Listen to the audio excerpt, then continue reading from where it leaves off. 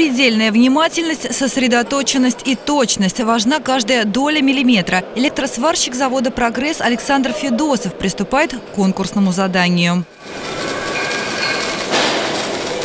Первый день соревнований предстоит сварить один модуль. Всего их будет четыре. На чемпионате по профмастерству молодые специалисты Роскосмоса демонстрируют самые разные навыки. Здесь представлено несколько видов сварки, и те, которые, в общем-то, для наших предприятий не очень-то свойственны. Поэтому, конечно, трудность была именно в выполнении э, вот таких вот соединений, типа свар, таких сварных швов.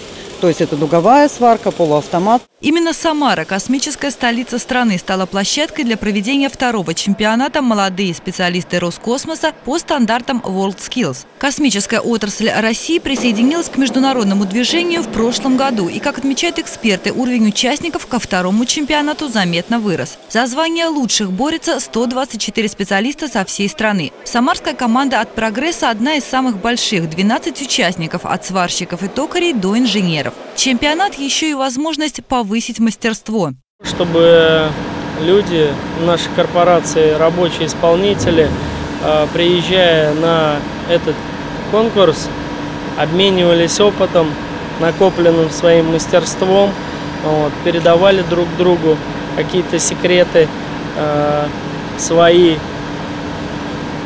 и в целом э, росли как профессионалы. В этом году в соревнованиях используют и оборудование более высокого класса. У станков молодые профессионалы Роскосмоса проведут три конкурсных дня, а лучших из лучших назовут 29 июня. Марина Кравцова, Константин Головин. События.